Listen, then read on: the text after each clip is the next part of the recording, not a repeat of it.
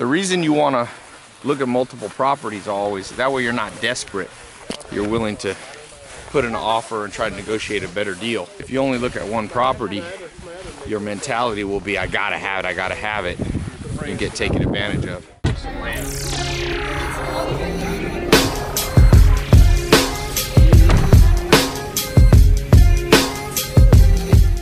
Throw them pillows up, throw them pillows up, throw them pillows up. Stacking on the pillows. You get a pillow. You get a pillow.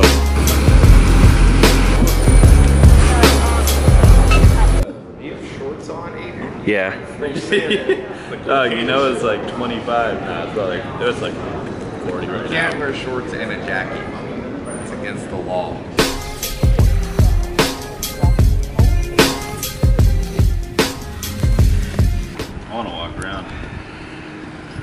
Olga's like, it's like I'm at a uh, amusement park.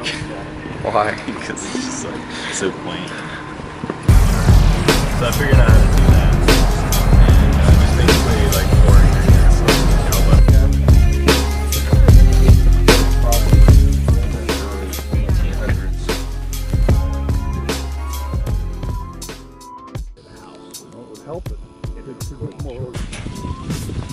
Wait, someone. There you go. That's good. How's that look? All right, I'll pop up here and I'll Feeding the cows.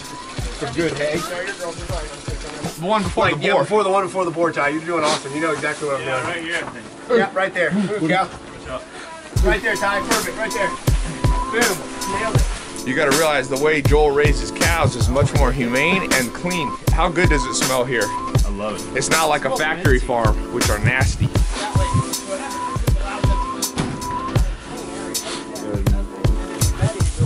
Adrian's attentive even if it's not his own food. Joel invented a system where every time he puts new chips in, he'll add some corn. Then in the spring, the pigs come and want to find the corn, and they root it up and aerate the compost.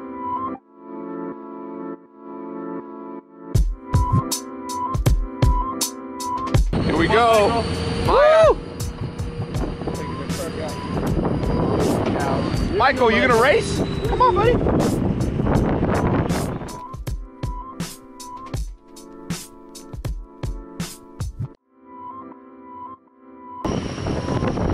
How you doing, Drew? You got gloves?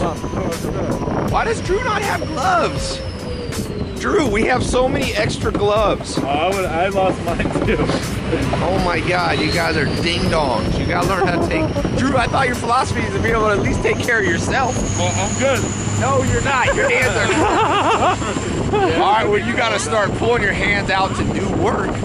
So like this is like their own person, or this is their shop, where people can buy direct. They open this up a few days out of the week, and people can come buy stuff on the farm. Oh dang, that's cool. Time. What was yeah. this?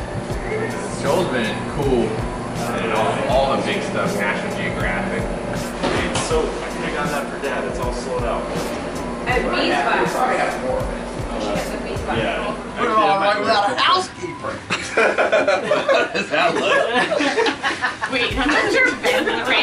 No, he didn't let me finish. He just started putting it on. I didn't get it done. It's not finished It's like me like halfway doing the Rubik's Cube. It was a turn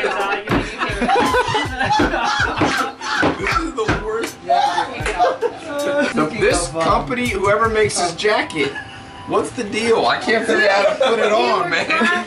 All good. And the instructions are pick up a plate and go buffet style, tacos, tacos. I'll sit right here. Teresa will sit here. Everybody else can sit wherever you want to sit. Okay? Real farm meal. Yep.